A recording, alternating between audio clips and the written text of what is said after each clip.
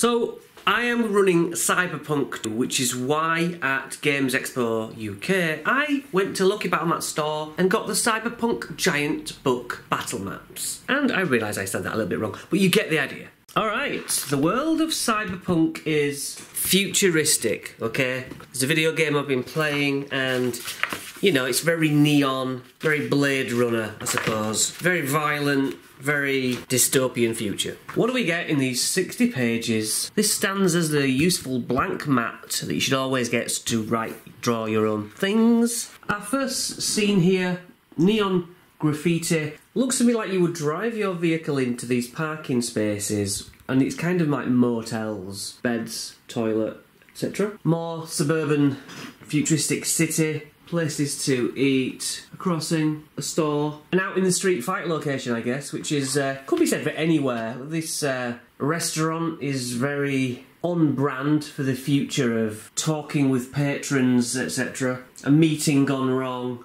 Uh, someone nips off to the toilet, comes back, and the person they're meeting's dead. Look at the neon of the streets which is lovely. But you could have this be somewhere else. You could have it in your D&D proper game Maybe as a dream sequence or as, a, as another realm that you invented. Fit it in what you like. Down to the subway here. Fill this full of bustling traffic and have the local cops have an altercation with the players. A car lot. This is just, you know, totally different to what you normally have, and I love the variety at my fingertips. But my player's going to have a blast walking around these types of locations. So vibrant and colourful. Just what does that say? Rapid transit. Is that some sort of tra- yeah train? I guess. Uh, train track and helicopter pad on top of one of the mega structures. Big store, supermarket kind of place. Then I don't know, municipal building, offices, internet cafe. I don't know. Take your pick. It's uh, whatever you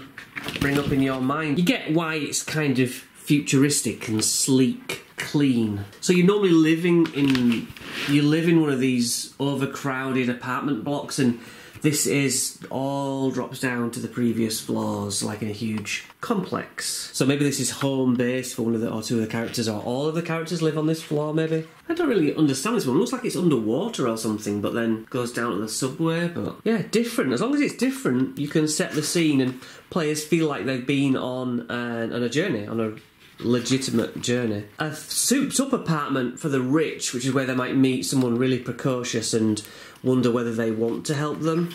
All with private security, breaking into their, their place to steal some sort of package. All very on brand. A fight down at the local container yard with some thugs. Brilliant. Not sure what this is. I think it would be like some sort of very much in town, all graffitied walls, and maybe underneath a huge complex. So these are all pillars where the vagrants sleep and stuff. Not entirely sure what these are. It's cool. A typical outdoors place with a small shack away from everyone. A place to drive your vehicle and smash into each other. Maybe a challenge from another crew. Again, Pacifica. Uh, more is a more like rundown, crime-ridden part of cyberpunk lore. Desolate roads, maybe between cities. Ideal ambushes places. These places have been picked clean, broken down.